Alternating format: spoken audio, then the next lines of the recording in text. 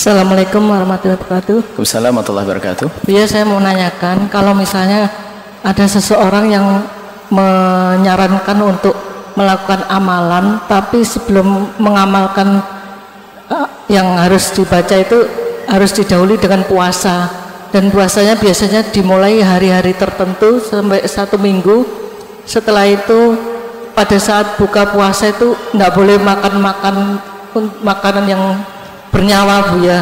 Apakah tidak boleh makan atau tidak yang boleh bernyawa gitu? Apakah hal yang demikian itu bisa dipercayai atau ada sumbernya memang dari Rasul? Terima kasih. Wassalamualaikum Bismillahirrahmanirrahim. Adapun masalah ada amalan misalnya. Asalkan amalan tidak bertentangan.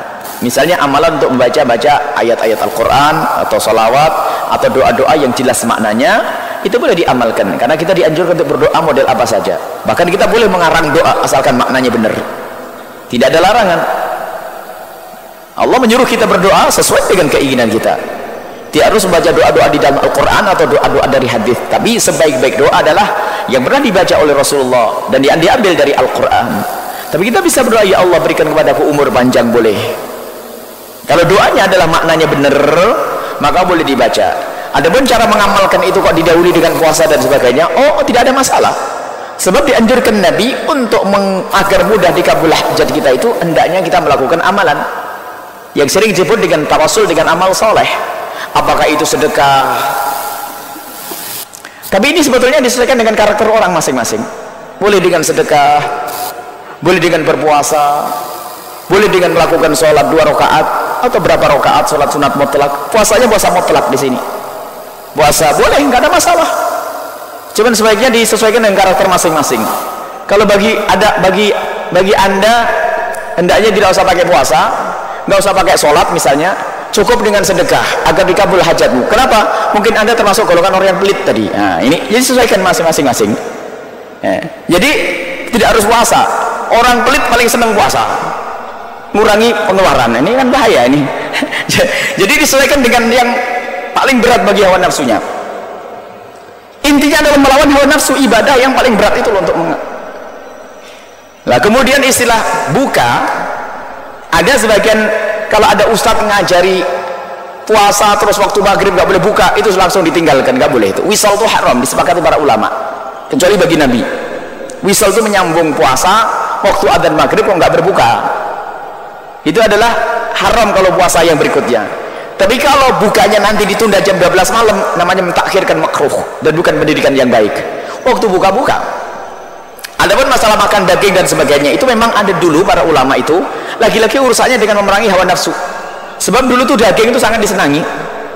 Kalau orang urusan daging itu lauk ya lauk daging. Dulu paling lauknya adalah memang Indonesia itu paling banyak ikan. Lauk daging.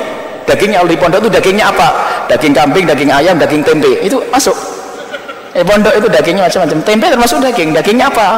Atau ikannya apa? Ikan tempe. Oh ya ikan tempe. Ya kalau ke warung ikannya apa? Ikan peyek ikan tempe lama terlalu banyak daging.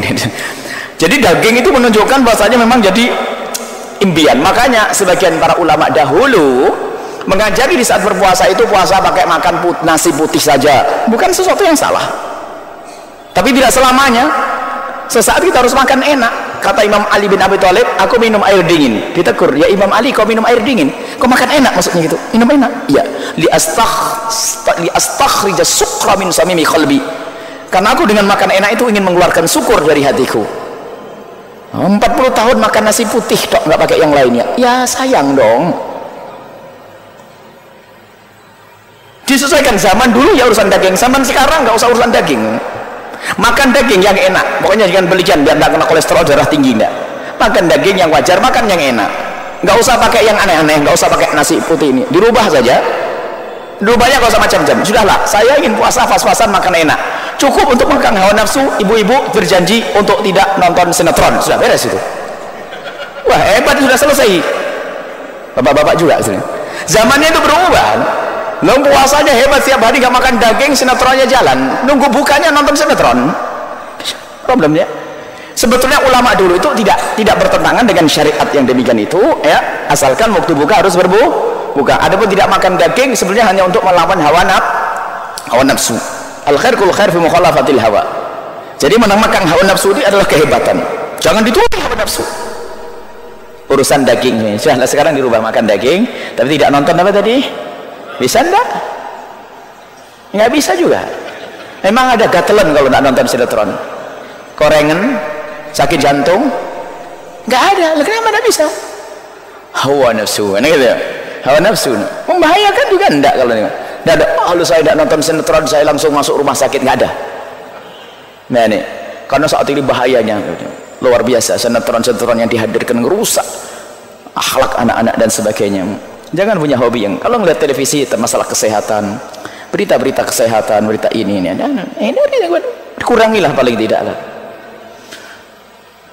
Jangan jadi gaduh-gaduh lah. Waktu ngaji-ngaji semua judul sinetron di semua channel televisi hafal. Lah. bisa cerita sama anaknya yang lagi mondok tuh.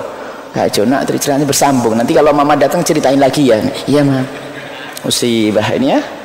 Jadi sederhana saja ya. Baik jadi itu tidak apa-apa. Berpuasa boleh kemudian kalau ternyata tidak makan daging hanya kecuali makan nasi putih saja bukan tidak bertentangan dengan syariat yang demikian itu akan, tapi itu hanya untuk mengekang hawa nafsu. Tapi syaratnya waktu berbuka adalah ber, berbuka dan amalkan. Yang tidak boleh diikuti yang melanggar syariat. Tidak ada pelanggaran syariat di situ. Hanya tadi kami memberikan cara yang lebih lagi. Ternyata yang penting adalah maksud mengekang hawa hawa nafsu. Mengekang hawa nafsu. Apa yang menjadikan kita? Apa yang menjadikan kita masuk ke haraman? Apalagi jelas haram jelas haram itu perlu kita hindari. Wallahu a'lam bisawab